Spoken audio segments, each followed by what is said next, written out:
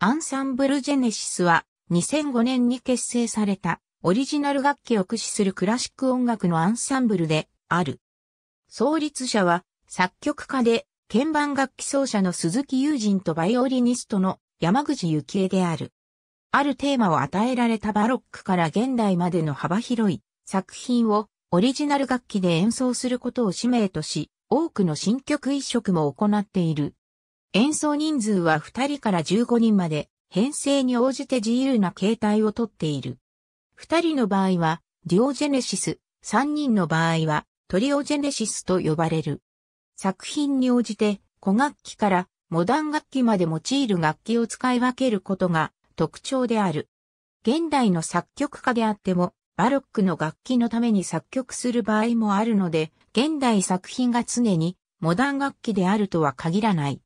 他アンサンブルジェネシスのレジデントコンポーザーである。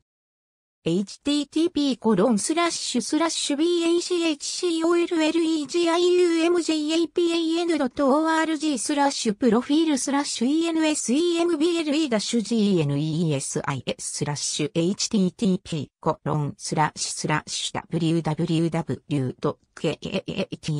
jp スラッシュディテル ID イコール7586 http www. フェスティバルクアチャウシュ B EN ギガバイト F プログラム63ザグリーフオブユーリデシーありがとうございます。